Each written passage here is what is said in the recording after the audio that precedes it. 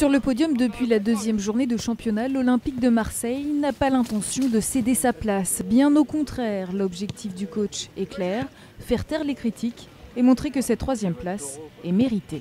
On va s'accrocher pour y rester, même si tout le monde veut nous déloger, que dans toutes les conférences ou dans tous les échanges que j'ai, on n'a pas le profil d'un troisième, on n'a pas les productions qui correspondent à un troisième, tout ça je l'entends bien.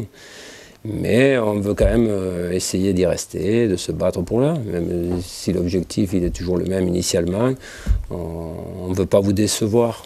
Mais les Phocéens se présenteront seuls au stade du Ré. En effet, les supporters marseillais ont interdiction d'assister à la rencontre pour éviter tout incident dans ce derby du Sud, toujours sous haute tension. On a besoin d'eux. Je pense que ces supporters aussi, bon, ils sont à côté, donc. Euh, voilà, c'est, euh, je comprends pas trop cette, euh, décision-là. Donc, euh, on aurait aimé vraiment que nos supporters soient là comme ils font quand ils vont dans tous les stades de France.